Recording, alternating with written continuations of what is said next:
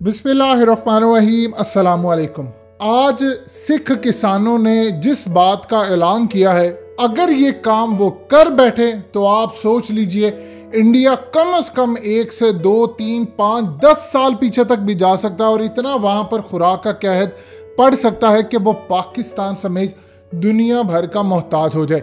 اس وقت مودی سرکار نے پلان کیا ہے کہ ان کو ایک سے ڈیڑھ مہینے کے اندر اندر یہاں سے فارغ کر رہے ہیں جو احتجاج کر رہے ہیں۔ لیکن کسانوں نے اعلان کیا ہے کہ اگر مودی نے بل واپس نہ لیا، یا ہمیں اٹھانے کی کوشش کی، تو ہم جتنی فصلیں ہیں یہ تمہاری غلط فہمی ہوگی کہ ہم اس کو کاشت کریں گے، ہم اس کو جلا کر راکھ کر دیں گے، اور اس کے بعد جو بھارت کی فضا میں آلودگی پھیلے گی اس کے بعد جو بھارت کے اندر قہد پڑے گا خوراک کا، آپ سوچ بھی نہیں سکتے۔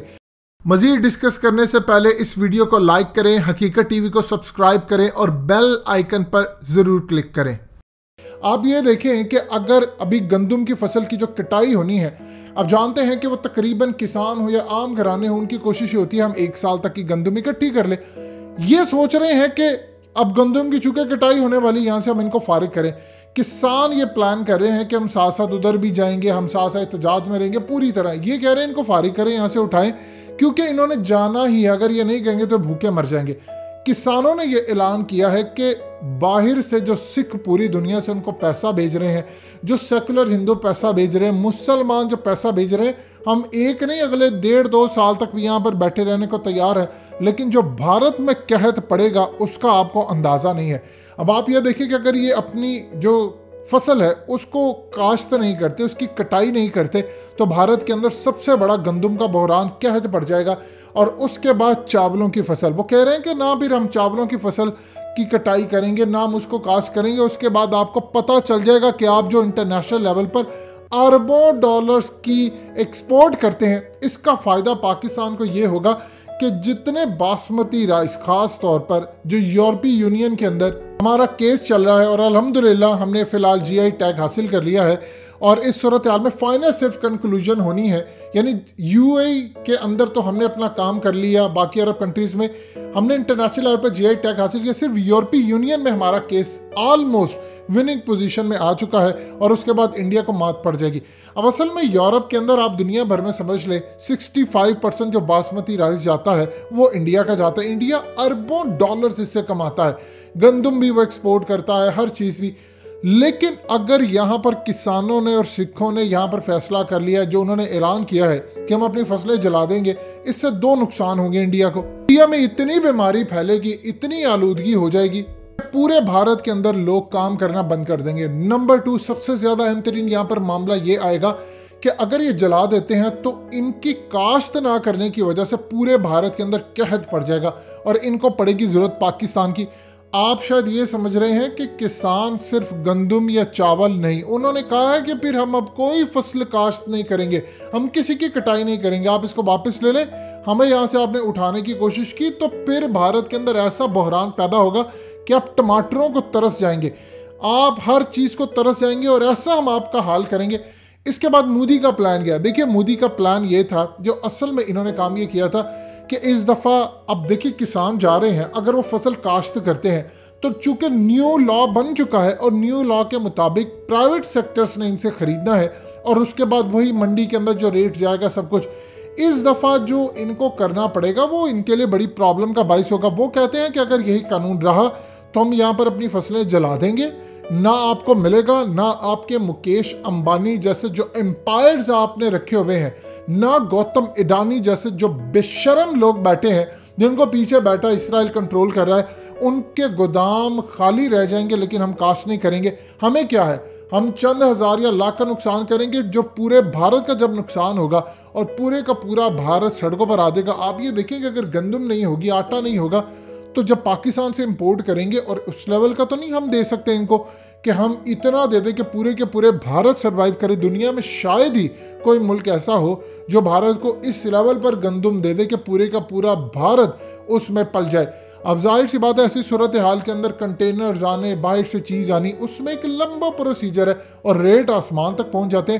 یعنی آپ سوچ لیجیے، خانہ جنگی کسی صورتحال جو ہم نے کبھی سوچی تھی وہ بھارت کے اندر پیدا ہو جائے گی۔ آپ کو پتہ ہی نہیں، یہ کام آئی ایس آئی کبھی کر نہیں سکتی تھی۔ یہ آپ کی فوج نہیں کر سکتی تھی، عمران خان نہیں کر سکتا تھا۔ یہ نواز شریف سے لے کر کوئی آپ کا حکمران، کوئی ڈپلومیٹ کوئی لیڈر، کوئی آپ کے گمنام ہیروز کچھ بھی کبھی نہیں کر سکتے تھے، جو مودی نے اپنے ملک کے ساتھ کر دیا ہے۔ یعنی ایسا لا آ گیا۔ اب دیکھیے دو ہی راستے بچے ہیں اس وقت مودی کے پاس۔ اگر تو انہوں نے آگ لگا دی تو انٹرنیشنل مارکیٹ میں پاکستان کی ہو جائے گی چاندی۔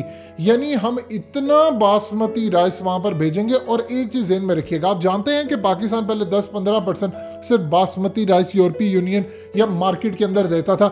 اب پاکستان پینتیس پرسنٹ پر پہنچ چکا ہے۔ وہ پاکستان کے چاولوں کو پسند کرتے ہیں۔ یہ ایک دفعہ سپلائی نہ دے۔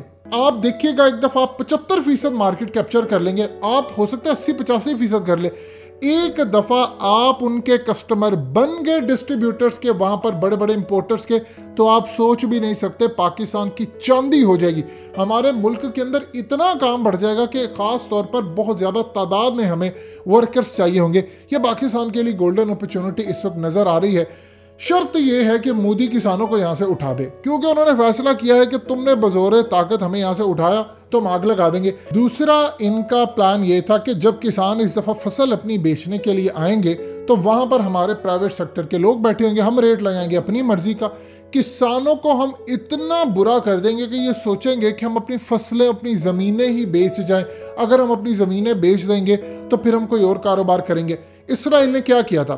فلسطین کے اندر وہاں پر گئے۔ سب سے پہلے انہوں نے جو پلان کیا تھا، دس گنا قیمت دی فلسطینیوں کے لینڈ خریدنا شروع کر دیے۔ پھر آؤں تھے اگر ایک چیز کی قیمت سو روپے ہے، تو ان کو ہزار روپے مل رہا تھا اپنے گھر کا، تو انہوں نے بیچنا شروع کر دیا۔ انہوں نے ایسا ایسا دڑا دڑ وہاں پر خریدے۔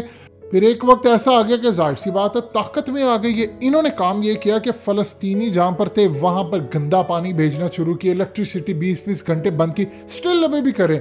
تاکہ یہ لوگ لینڈ چھوڑ کر چلے جائیں۔ اب پاکستان کے اندر کسی نے زمین پر قبضہ کرنا ہوتا ہے تو وہ کیا کام کرتا ہے؟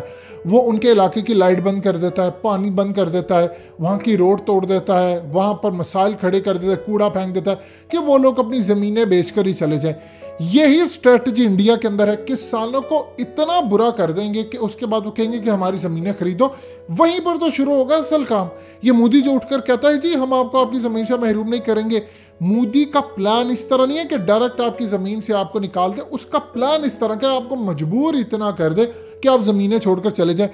دیکھیں سکھوں کے اندر سکسٹی پرسنٹ ہے جٹ، اور جٹ ایک دفعہ کسی کے پیچھے پڑ جاتے ہیں، ان کی تاریخ ہے تو یہ کسی کو چھوڑتے نہیں۔ اور ان جٹوں نے خاص طور پر فیصلہ کیا ہے کہ ہماری جانیں جاتی ہیں، چلی جائیں۔ فصلوں کو آگ لگانی ہم لگا دیں گے، پھر بھارت سرکار جانے دیکھی جائے گی۔ جب ہم یہاں پر نہیں رہیں گے، ہمیں تو باہر سے کہیں نہ کوئی پیسہ آ رہا ہے، ہمیں سپورٹ کر ہی رہے ہیں۔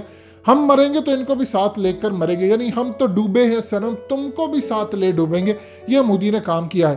اگر یہ کام ہو جاتا ہے تو انٹرنیشنل لیول پر جہاں جہاں انڈیا ایکسپورٹ کرتا ہے اپنی چیزیں، چاہے وہ چاول ہو، گندم ہو پھل ہو، وہاں پر انشاءاللہ اللہ پاک کے حکم سے ہمارے تاجر ایکسپورٹ کریں گے اور اچھا خاصا منافع جب پاکستان آئے گا، اب ڈالرز کی صورت میں، یورو کی صورت میں فورن کرنسی کی صورت میں تو پاکستان کی کرنسی بھی سٹیبل ہوگی۔ دعا یہ کریں کہ اس دفعہ مودی ان کو ہٹا دے کسی طرح۔ اگر ایک دفعہ ان کو ہٹا دیا یا ان پر ظلم کر دیا انہوں نے، تو پاکستان کے لیے دروازے کھل جائیں گے۔ یہ گولڈن اپرچونٹی ہے۔